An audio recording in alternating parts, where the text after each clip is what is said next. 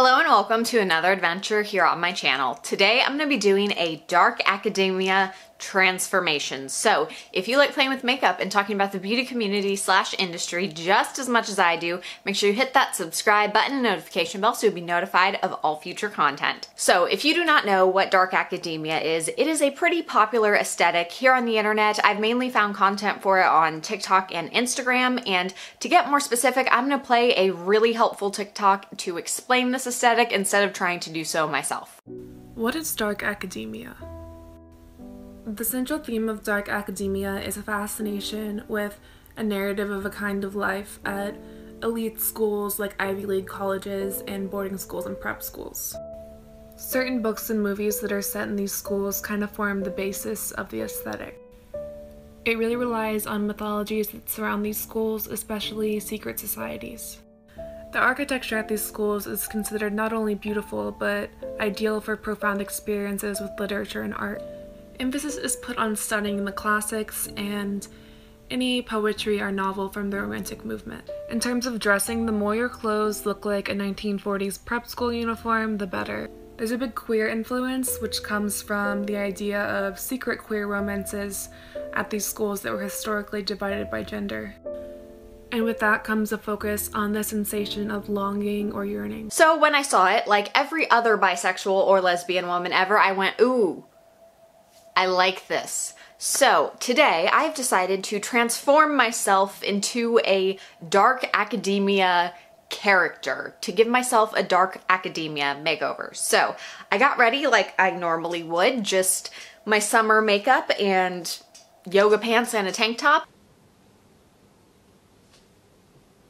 You basic. Yeah, I noticed. And from here, I'm gonna take this base and turn myself into a dark academia version of me. Now, I've noticed there seems to be two variations of this aesthetic. There is the classic aesthetic, the more historically accurate aesthetic, and then there's what I like to call the CW version of this aesthetic, where you take the dark academia aesthetic and mix fan fiction and probably a little bit of magic. And I say that with love because I do love fan fiction and several shows on the CW. So that is why I think I'm gonna go for that more CW character, dark academia aesthetic version. With that, let's give me a dark academia makeover. So to start, I gotta take off what I got going on. I try not to use these wipes too often, but I do have a pack for times like this or if I really have intense makeup on.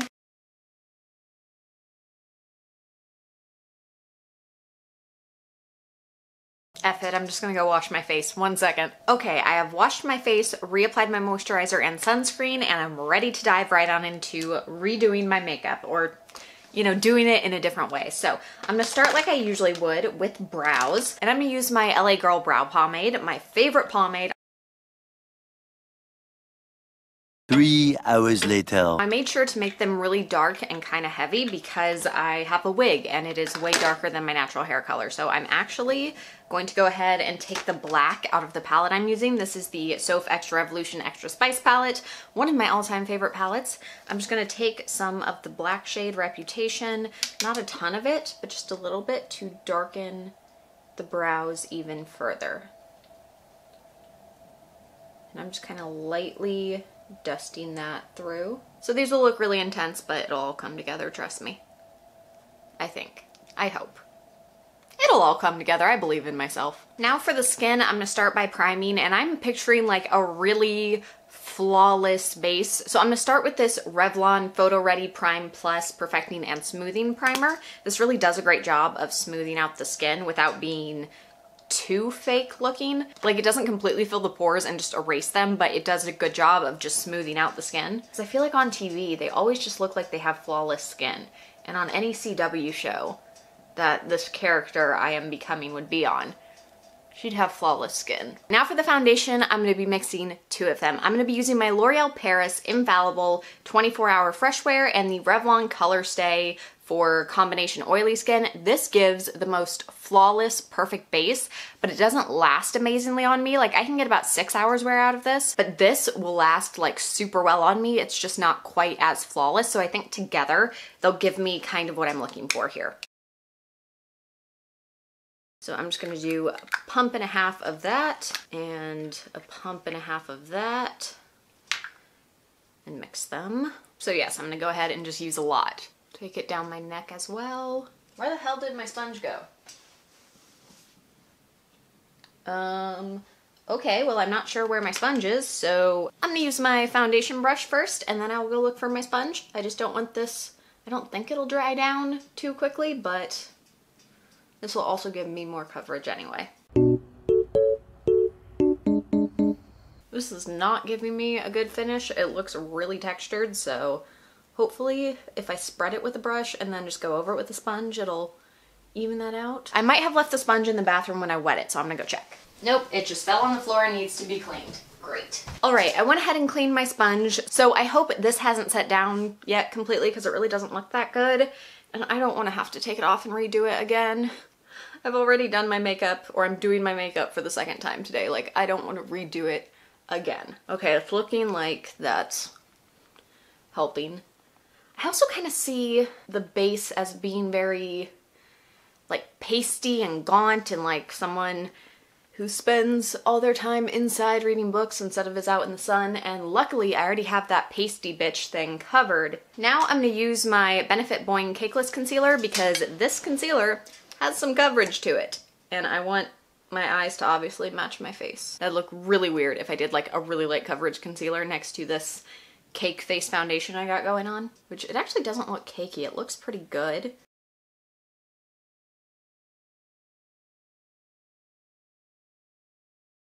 I mean, that is pasty. That is definitely full coverage. I skin, I don't know her. Kind of what I was going for, but now I'm going to try to cream contour using this Revolution Pro HD Camouflage Conceal Palette Light. This is actually a light concealer palette, but I'm so fair, I bought this going, yeah, that'll definitely work for me for a contour palette. So this is what it looks like. This is the first time I'm gonna be using it, so hopefully it works out well. I'm gonna start by using this shade and kind of go around the cheekbones.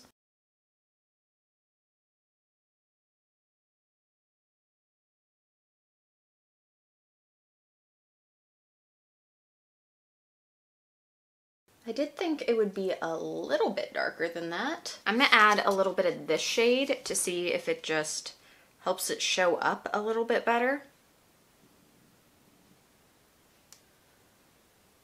Maybe a little bit.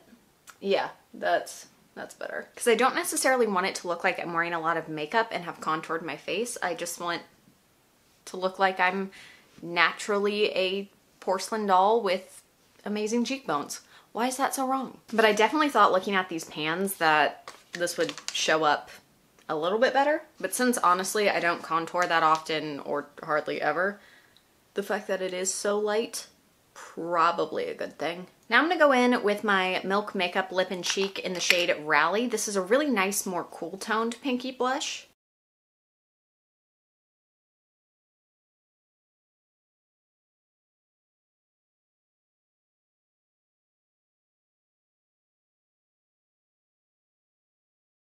Okay, I'm just gonna powder my face real quick. Since the goal with the base was to make my skin look flawless and the cheeks just look a little more shaped, but very subtle, like I'm not quite wearing makeup there, I think I accomplished that goal. A lot of work for the barest hint of something, but it is what it is. Now for the eyes, I'm kind of torn on whether I want to do something like really dark and dramatic and smoky or something like really simple. So I think I'm gonna go somewhere in the middle and maybe do like a smoky, dark wing with a shadow and then maybe leave the rest kind of bare. So I think I'm gonna use these burgundy tones because for some reason burgundy is just one of the dark academia colors to me, along with black, gray, brown, the kind of standard ones. Burgundy and forest green also go with this aesthetic in my mind. So I'm gonna start, where's my liner brush? So I'm gonna go in with this shade Enchanted on a liner brush. I'm just gonna start running that along the lash line.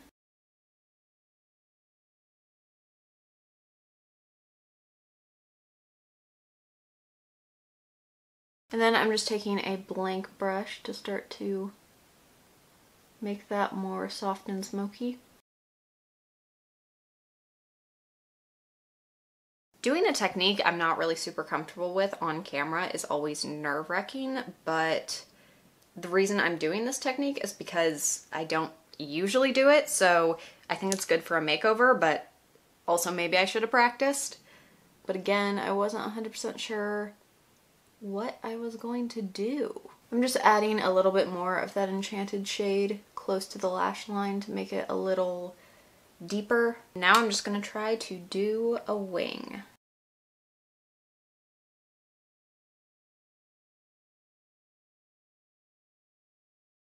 That actually worked out a lot easier than I thought it would. I don't know if I want to risk it by making it more smoky, but I am doing so. And I think I'm going to take some of that same shade and just put a little bit along the outer half of the lower lash line. Doing good. I think I'm going to add some black to my waterline and tight line. And I guess I'm smudging that below the lower lash line because that's what's happening.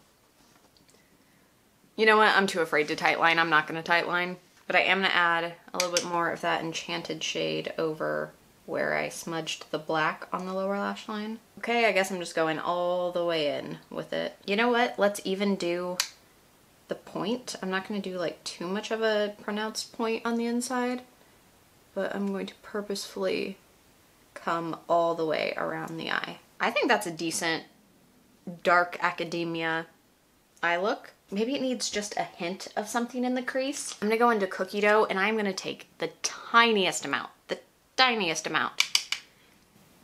And just put, okay, that's more than I wanted, but it's okay, it's okay. I'm gonna take a fluffier crease brush and I'm gonna go over it with my setting powder just to soften it even more because I just want the barest hint of something in the crease. I like that. Okay, I'm gonna do the other side and be right back. A little longer than a few minutes later. I do want some highlighter, but I don't want it like intense highlighty. I just want some brightness. So I'm gonna use my Nomad X Stockholm highlighter since this is a more everyday subtle-ish highlighter. And I'm not gonna take too much. I'm just gonna put a little bit right on the cheek and just a little bit down the nose, cupid's bow. Like I said, not intense. And I'm gonna use the sample of the Benefit Bad Gal Bang! A new mascara from Benefit. So the tube is bomb. I am living. Let's see what the wand looks like. Oh. It's so big. I'm building the crap out of this to hopefully not have to put on false lashes. These are some pretty, pretty big lashes. Intense mascara. I still gotta put falsies on, don't I? oh well, where where did I set them? Oh, I'm gonna use these Kiss Magnetic Accent Lashes because if I have to wear lashes, I like these.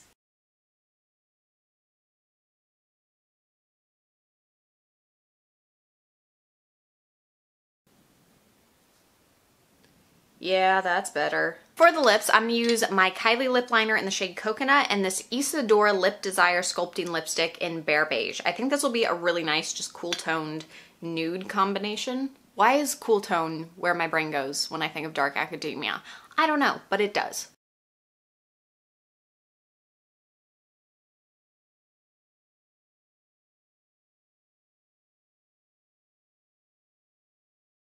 Yeah, I like that lip choice. But before we put on the wig and the outfit, next is nails. And I'm gonna be putting on, where did I put them? I have so much stuff just sitting around me. Ah, these all dashing nails. What style are these?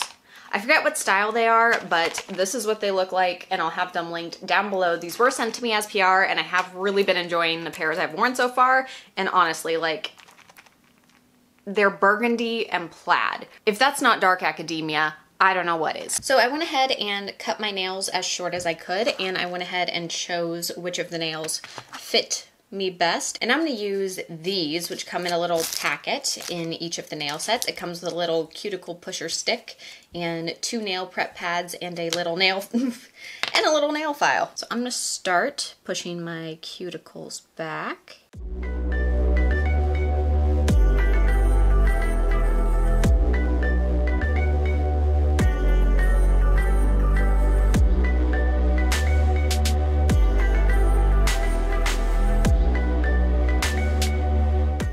I'm gonna take the nail one by one and they have these little tabs on them. So I'm just gonna pull that off and kind of slide it at an angle until it's in place and push it down. And I am just going to repeat, but I'm gonna save my thumbs for last just because it makes it easier.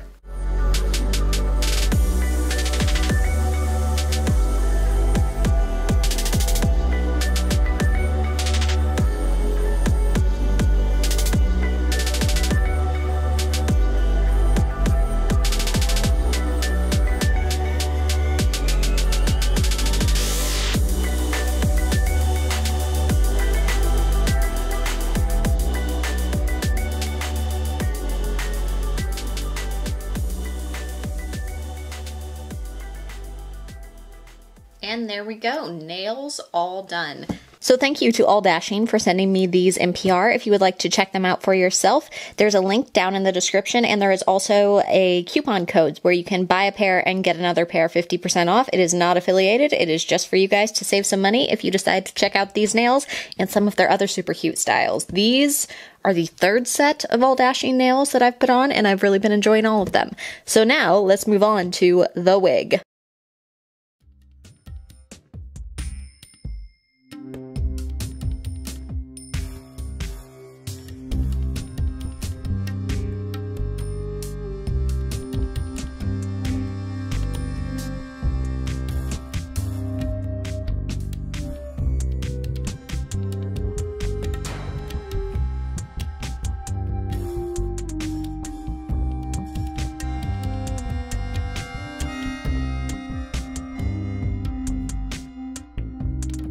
Yes, yes, I am using the viewfinder to do this.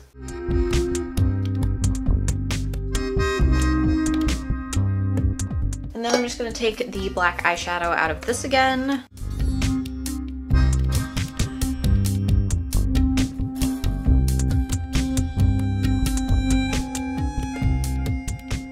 We're gonna call that good enough um, as far as blending it in. And now I just have to get dressed.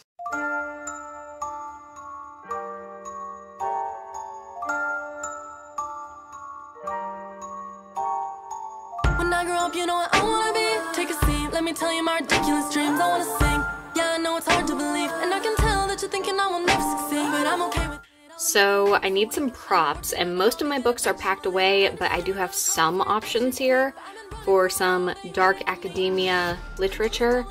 Um, Scream. This is a book about the sociology of fear. It's really interesting. That's a pretty dark academic book. Um, Neo Reaction, a Basilisk, essays on and around the alt right. Very interesting. Also a great option. Um, ooh, my aunt gave me this for my birthday, which is about what if Hillary never married Bill Clinton. So I think I think that's a good little stack of dark academia books. Ooh, and then Scarlet Letter, that's a classic, and this is kind of an older copy. Perfect. Yeah. I'ma make them notice me, rhyming like it's poetry. Everything I ever see, I just like to overthink. Mocking me, you pay the fee, no return and no receipts. Those of you that don't believe, catch, you don't know a thing. Quiet when I'm trying to sing, quiet when I'm making beats, quiet when I'm trying to think. Sorry, I don't mean to scream. I just feel like no one really gets me in a. And here we go, the full before and after. I feel like I ended up being your dark academia political science professor. I I had so much fun with this. Let's see. Dark academia political science professor who may or may not be the big bad in season one of her show, but also has an antagonistic yet flirtatious relationship with the wholesome, super attractive English professor, and definitely ends up helping our main group by like the third season and is kind of the mom of the whole situation and who they call to fix whatever BS they are in with the school. Because political science, hello, politics, she knows how to play campus politics and get them out of trouble. So that is my character. I expect fan art and fan fiction on my desk by Monday. and let me know down in the comments Who would your Dark Academia character be on this fantasy CW show? Let me know. Thank you so, so much for watching, and I will see you all next time. Oh, fun fact. Um, this necklace is actually from the set of Supernatural. I got it at the Supernatural set sale, so it actually is, or was, a prop on a CW